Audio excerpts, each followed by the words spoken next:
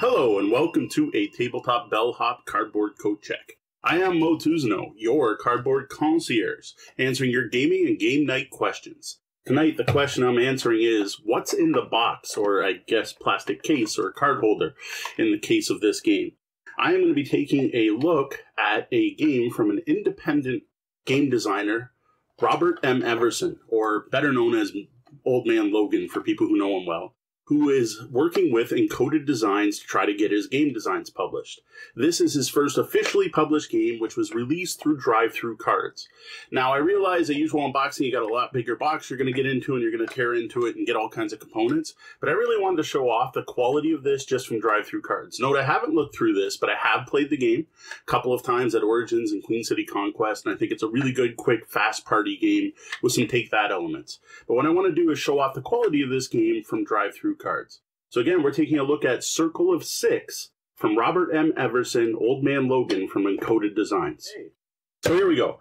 So first thing I want to know, this is exactly how this game shipped from DriveThruCards. Um, it did show up in a bubble envelope, but there wasn't anything else there. This is it. So one of the things I really liked is it's a nice hard case, but not only that, it locks. So I can't pop this open. So big bonus points there. Uh, again, I guess it's not necessarily Bob who did a great job on this, but DriveThruCards. Next thing I will note is it comes with a plastic sleeve on the cards. I don't know if you can kind of see it there. There's a plastic sleeve holding this entire deck together. So big props on that. Um, there is a cover here that just is, again, by DriveThruCards. And then notes it was printed in the United States and the, the, the information, right? The, the ID number, stuff like that, customer order number, product number, and so on. Then we get right to the marker so we have a marker card for Circle 6. This is something that tells you the direction of play and can be flipped over either sides. And then we have this version of the marker.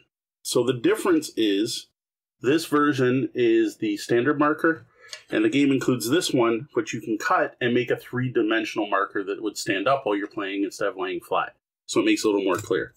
Now I'm just going to slip this sleeve off. So again, I want to kind of show this. See, here's this sleeve, which unfortunately my green screen doesn't like much. And then we have a deck of cards. The backs are all identical. A card quality, it's nice, um, plasticized. I'll do that near the mic so people can hear it. Really nice, solid quality cards here. No, uh, like the glossy finish.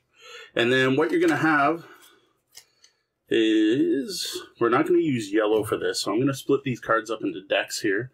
So we have stuff for multiple players. We can see how many players this is once we see all the player cards. So we have red, yellow, red, purple. And these actually slide really nice. Like these are going to be a joy to shuffle. Green. Blue. And then the number cards. So what you have is this game does play six players. So what you have are a bunch of number cards that say one, two, three, four, five, six. These get laid out in a circle one, two, three, four, five, six. Now, I'm not going to fully explain how to play the game. Then each player is going to take their own deck, and I think the one that's probably going to show up the best here is probably red. So they start off with a player card that just indicates, oh, even that's not quite sure. Here we go. Red player card, and it shows that you're going to put your scoring cards on one side of this and your discard cards on the other. You have two wild cards that say wild. Then you have two of each numbered cards counting down from six or counting up from six, whichever way you want to go. Now, one of the things I do like that Bob did with the design of this game is he made it so each color also has a unique symbol. So you'll see the red has a trying, uh, uh, like a throwing star, the purple has a diamond, the blue has this weird like hexagon star. So that definitely helps with anyone with any color blindness issues. So that is pretty much it. That's what you get with it. Uh, the one thing you'll note, and I didn't even know for sure, so these are for setting up the board. Then we have our player things. Nowhere here do you have the rules for how to play.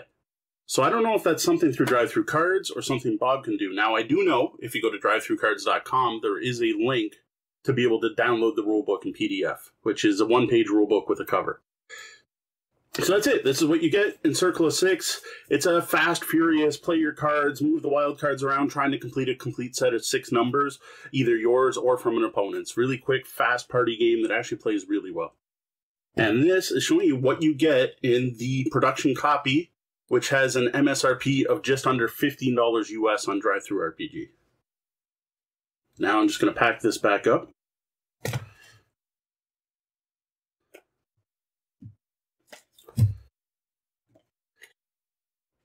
I think I will skip the plastic sleeve this time. Just toss these in the case, which seals up nicely. All right, so there you have it.